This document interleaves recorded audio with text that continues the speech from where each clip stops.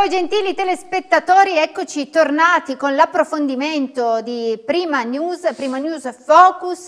Andiamo dunque a focalizzarci proprio su un argomento di attualità e non possiamo che parlare di aumenti. Ne abbiamo parlato anche eh, nelle scorse puntate, ma oggi in particolare eh, ci occuperemo degli aumenti che riguardano le nostre bollette, eh, bollette di luce, gas, che davvero sono schizzate alle stelle. Cominciamo proprio da lì, per poi arrivare anche al nostro carrello della spesa perché gli aumenti eh, purtroppo eh, li abbiamo trovati anche nel carrello della spesa e non solo. Quindi faremo proprio una panoramica di questi eh, primi mesi dell'anno. Iniziamo però eh, parlando di energia, quindi parliamo di elettricità, parliamo di consumi che troviamo direttamente in bolletta e lo facciamo con l'ospite che è oggi in studio con me che ringrazio la dottoressa Jessica Campolongo dell'Unione Nazionale Consumatori Piemonte. Grazie per essere con me. Grazie a voi.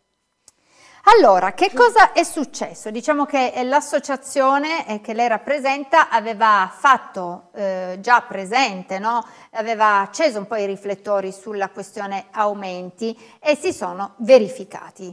Ehm, aumenti che riguardano appunto, in particolare parliamo di luce e gas, eh, quantifichiamoli un po'. Allora, gli aumenti sono stati di due tre volte eh, maggiori rispetto alle bollette relative agli anni, agli anni precedenti nello stesso periodo.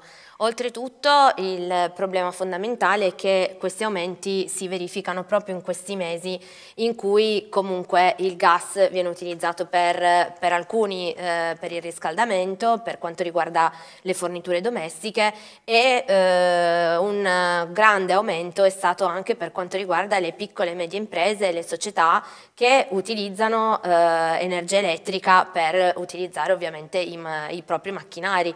Quindi stiamo, eh, uscire è un parolone, però eh, da una pandemia che ha creato e che sta continuando a creare dei problemi verso questi aumenti che sono eh, spropositati, quindi creano difficoltà perché poi eh, vengono emesse delle fatture spropositate perché eh, sono aumentate anche di 100-120% rispetto agli anni precedenti, quindi è un aumento considerevole. Ecco, poi lo sappiamo che purtroppo eh, gli eventi contingenti no, con la guerra tra Russia e Ucraina, certo. che speriamo vada a conclusione al più presto, non fanno che eh, aumentare ancora di più questo, questa problematica perché noi l'Italia è dipendente in gran parte dal gas che arriva eh, dalla Russia e quindi eh, Sicuramente il panorama eh, mondiale non ci aiuta in certo. nessun modo, ma da che cosa derivano sostanzialmente questi aumenti?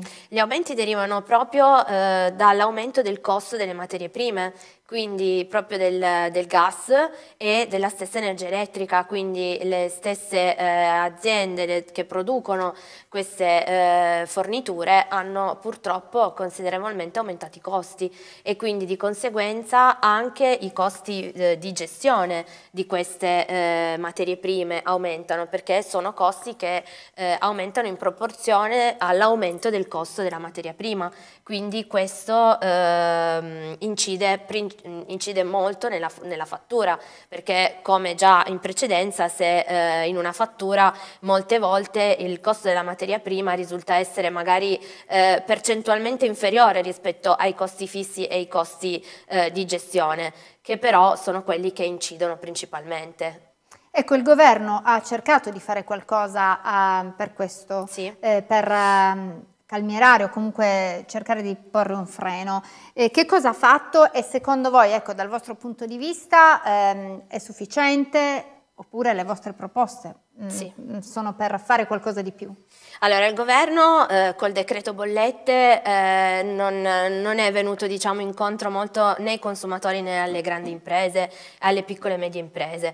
Propone una rateizzazione delle fatture in un massimo di 10 rate, che effettivamente un, sono, poco, sono, poche 10 rate, se consideriamo che magari un'azienda un può ricevere anche una fattura da 20-30 mila euro di energia elettrica considerati gli aumenti, quindi 10 rate mh, si capisce bene che non sono fatti, cioè, fattivamente sostenibili. In più, eh, altro problema era che le fatture per poter chiedere una rateizzazione sarebbero dovute scadere, cosa che in realtà eh, la rateizzazione deve essere richiesta prima che la fattura sia in scadenza. In più, cosa mh, non concepibile per quanto riguarda appunto la, le associazioni consumatori, in particolare la nostra, è che venga richiesto un anticipo del 50%, cioè che non, non, è sostenibile, se già arriva una fattura eh, esorbitante e la, il soggetto sia domestico che no si trova in difficoltà a sostenere una fattura di questo importo, figuriamoci, cioè, è, è assurdo che possa versare il 50%. Ecco, sappiamo che mh, parlando di privati no, si sono moltiplicate anche sui social delle iniziative di protesta sì. eh, del tipo tagliamoci in autonomia le bollette, ehm, cose simili, iniziative simili, ehm, delle vere e proprie campagne di autoriduzione della bolletta. Voi che cosa ne pensate? Allora, noi eh, ovviamente consigliamo sempre all'utente di trovare una soluzione il più facilmente eh, adattabile alla propria situazione economica finanziaria per il semplice fatto che non pagare purtroppo non è una soluzione perché poi c'è il rischio che comunque il gestore possa staccare la fornitura quindi rimanere senza energia elettrica e gas. E oltretutto una volta che si eh, arriva al distacco della fornitura non si può più neanche richiedere una rateizzazione quindi eh, ci si trova a dover pagare l'importo per intero. Quindi infatti la nostra volontà è con alcune società siamo riusciti ad addivenire a degli accordi aziendali, soprattutto la sede nazionale di Roma è riuscita a trovare questi accordi con le aziende principali del territorio, quindi mm, in modo che si possa avere una rateizzazione più ampia da concordare direttamente col gestore che viene valutata in base alle esigenze dell'utente e eh, oltretutto questo anticipo del 50% è stato in, per alcune aziende ridotto quasi del, magari al 25 o al 30. Ecco, in questi momenti si moltiplicano sicuramente le offerte, no? o almeno sì. quelle che vengono proposte come delle offerte, telefonate che arrivano a casa degli utenti, eh, cambia gestore per non subire questi aumenti. Cosa possiamo consigliare a chi dovesse ricevere questo tipo di telefonata e che magari vuole appunto eh, approfittare di quella che sembra un'offerta? Ma il nostro consiglio è quello sempre di comparare la propria offerta con quella nuova e oltretutto non fermarsi solo al costo della materia prima, cioè valutare anche i costi accessori perché sono quelli che poi principalmente incidono.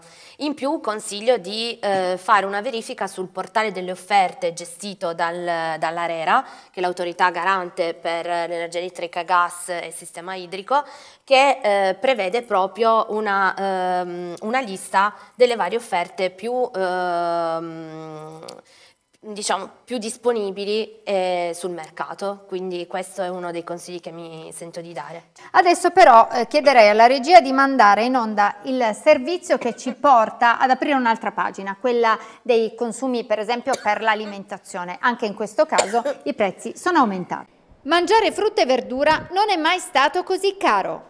Solo per focalizzarsi su alcuni prodotti molto amati sulle tavole italiane, per esempio i pomodori, sono aumentati del 35% e le melanzane del 37%. Lo rilevano i dati raccolti da Confagricoltura Piemonte, una delle principali associazioni di categoria di cui fanno parte produttori agricoli di tutto il Piemonte. I listini del CAT, il centro agroalimentare di Torino, da cui partono carichi container alimentari per la grande distribuzione, rilevano che un anno fa in questo periodo, considerando i prezzi all'ingrosso, i cavolfiori bianchi costavano 90 centesimi al chilo, mentre oggi sono quotati 1,30 euro. Le zucchine valevano 1,60 euro, mentre oggi sono a 2,65 euro. L'aumento più consistente, complici le gelate, è quello dei finocchi, passati da 45 centesimi al chilo a 2,30 euro. Rispetto alla normalità del periodo, che vede la verdura più cara d'inverno, quest'anno c'è un elemento in più che incide sui prezzi. Si tratta del costo dei fertilizzanti e della gestione delle serre. Nonostante la spinta verso un'alimentazione più consapevole e rispettosa del ciclo naturale, infatti, La maggior parte delle persone consuma la frutta e la verdura in base al proprio gusto e non prediligendo prodotti di stagione.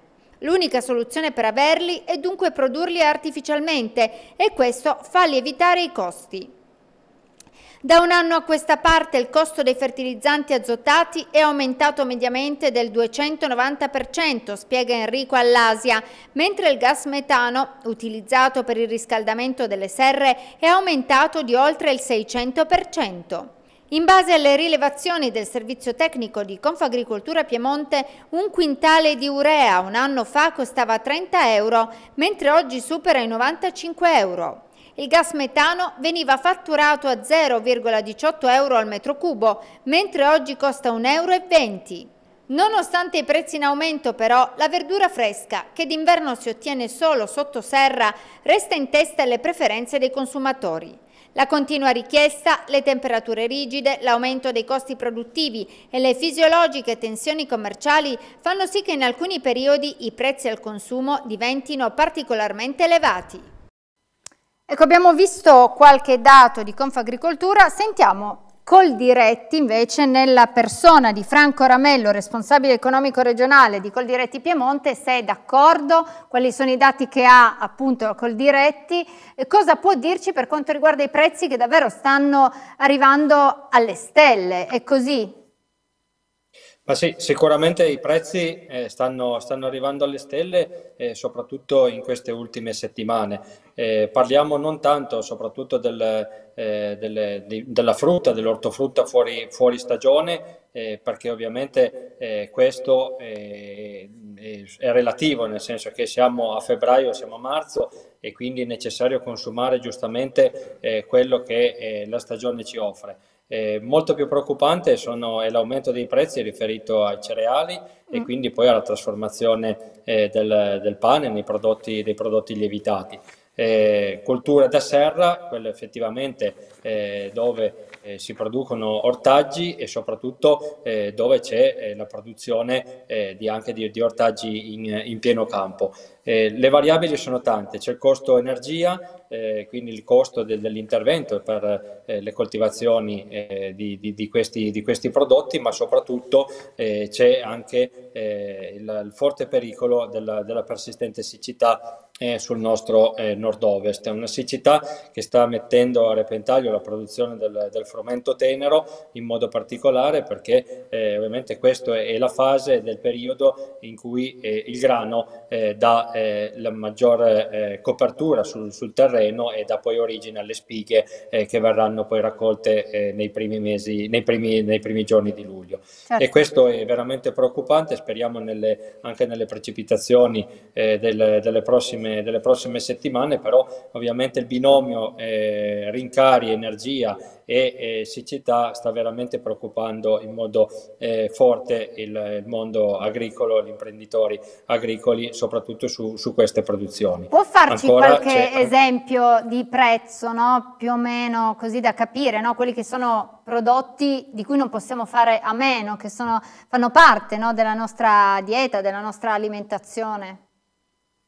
Sì, sicuramente eh, il frumento è aumentato in queste ultime settimane, eh, causa soprattutto in questo caso questo, nell'immediato della, eh, della, grave crisi ucraina, che ricordiamo comunque è uno dei principali produttori, è il principale produttore eh, europeo di, di, frumento e quindi ci sono queste eh, speculazioni, soprattutto queste forti tensioni sui mercati mondiali eh, nei confronti di questo prodotto e, e, quindi stiamo parlando di aumenti anche del 30 del 40% su questo prodotto che ovviamente eh, si ripercuoteranno poi eh, su, tutte, eh, su, tutta la filiera. È importante eh, investire sul nostro, sul nostro territorio e infatti non a caso ormai da, da, tre anni come Coldiretti stiamo portando avanti una progettualità eh, chiamata eh, Grano Piemonte, sono stati seminati quest'anno 7.000 ettari, è un frumento di filiera che ovviamente dà la possibilità ai nostri imprenditori di approcciarsi ai veri e propri accordi di filiera con i principali mulini eh, del, del, nostro Piemonte e quindi dare origine appunto a prodotti eh, controllati e di filiera e di origine eh, piemontese. Questo è ovviamente una, una, soluzione, anche se piccola, ma eh, può essere replicata su molti altri settori produttivi. Ecco, come Coldiretti ehm, ho letto che eh, avete pensato anche una, alla possibilità di utilizzare i fondi in arrivo del, col PNRR per fare dei veri e propri invasi eh, artificiali che possano dare, assicurare l'acqua che sostanzialmente le piogge non stanno assicurando. Sì, questa è ovviamente una nostra eh, battaglia ormai eh, da anni, eh, adesso ci sono questi, questi fondi, c'è l'occasione veramente eh, di concretizzare questi progetti, sono eh, progetti e la nostra linea è sempre stata quella di eh, microinvasi eh, dispersi in modo capillare sul, sul, territorio per cercare di creare queste riserve d'acqua sia per il mondo, per l'utilizzo in, in, agricoltura durante i due o tre mesi estivi che sono quelli di maggior richiesta e più critici sia per le temperature estive sia per le esigenze delle culture, ma soprattutto questi questi invasi servono, servirebbero anche sia a produrre energia elettrica, ma soprattutto anche per governare eh, le, le, piene, le, le situazioni anche di, di, precip di, precipitazioni molto intense eh, alle quali ormai siamo abituati da, da, alcuni anni in riferimento poi ai cambiamenti climatici. Quindi anche una vera e propria funzione ambientale di regimazione delle acque eh, durante questi periodi eh, di, di forti ed intense precipitazioni eh, alternati magari a periodi molto asciutti come quello attuale. Ecco, poi c'è anche la questione dei eh, rincari che avvengono nella filiera, no? Eh, sicuramente un produttore eh, viene pagato alla base molto meno rispetto a quanto poi un determinato eh, ortaggio o comunque un eh, prodotto arriva al consumatore finale. Anche la filiera in qualche modo dovrebbe, andare, eh, dovrebbe essere rivista. Assolutamente sì, questa è la, la, cosiddetta ripartizione eh, solidale all'interno ed equa all'interno del, del, valore della, della filiera. Eh, ovviamente la, la, parte più debole è sempre quella eh, produttiva, quindi eh, l'anello, primario. Poi ci sono dei rincari eh, oltre misura durante, eh, i, tra i vari attori della filiera fino ad arrivare al consumatore finale che è quello che poi da una parte ne fa le spese pagando di più il prodotto, ma dall'altra anche il produttore eh, iniziale è quello che percepisce eh, di meno. Teniamo presente che eh, ci vogliono diversi chili di grano eh, per pagare, per, pagare, un caffè, però ovviamente eh, tutto questo deve essere eh, equamente ripartito all'interno della filiera e abbiamo calcolato come centro studi col diretti che ovviamente il 15-16% di tutto il valore del prodotto finale a scaffale viene percepito solamente in questa percentuale dal produttore agricolo iniziale, quindi è un valore veramente veramente eh, irrisorio tenendo conto soprattutto del, del, del rischio di impresa e sul fatto che comunque il prodotto agricolo viene sempre fatto o quasi sempre fatto eh, sotto eh, la, la pioggia sotto le meteore e quindi è a rischio di qualsiasi tipo di eh, catastrofe, tra virgolette, eh, che, che, può, che, si può verificare. Quindi non è sicuramente una redditualità quella dell'impresa costante, ma eh, a forte rischio comunque. Certo, va bene, io la ringrazio davvero, ringrazio Franco Ramello, responsabile economico regionale di Coldiretti Piemonte, per essere stato con noi in questo spazio di approfondimento, grazie e buon lavoro. Grazie a voi. Grazie a Torniamo voi. in studio per fare i saluti e per dare solo qualche consiglio velocissimo su come risparmiare un pochino anche a casa no? Nella, eh, e abbassare le nostre bollette. Sì, magari ridurre i consumi, eh, magari spegnendo le luci di casa semplicemente, la piccola spia che c'è nel televisore, magari alla sera spegnerlo, sono piccole accortezze che però possono incidere notevolmente sul costo della bolletta per il gas magari cercare di utilizzare eh, magari dei cibi anche, magari capisco la stagionalità, magari dei cibi come insalate, magari dei cibi freschi, di modo che eh, si utilizzi magari meno il gas da cucina e per quanto riguarda il riscaldamento magari nelle ore in cui non si è presenti in casa lasciarlo al minimo ed evitare che ci siano dispersioni, magari anche mh, lasciando magari finestre aperte o lucernai aperti che fanno certo. disperdere appunto il calore. Bene, siamo arrivati alla conclusione, dobbiamo chiudere. Io ringrazio la dottoressa Jessica Campolongo dell'Unione Nazionale Consumatori Piemonte per queste delucidazioni, ringrazio i telespettatori che ci hanno seguito anche oggi da casa e ci rivediamo come sempre domani. Arrivederci.